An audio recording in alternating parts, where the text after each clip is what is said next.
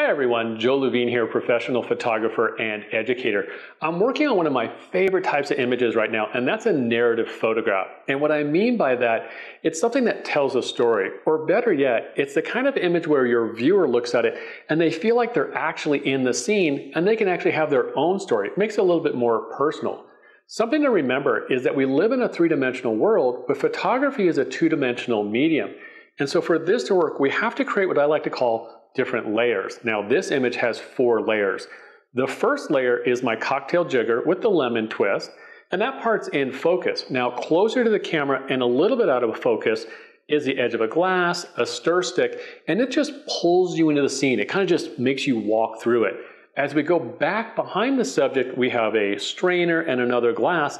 That's another layer. It's out of focus just a little bit and now we're moving. Now, as we go to the back of it, I have another glass there that just kind of breaks up the light a little bit, adds a little texture. The final element is the background, and here it's a photograph. Now, it's out of focus, but the lines in it pulls everything together.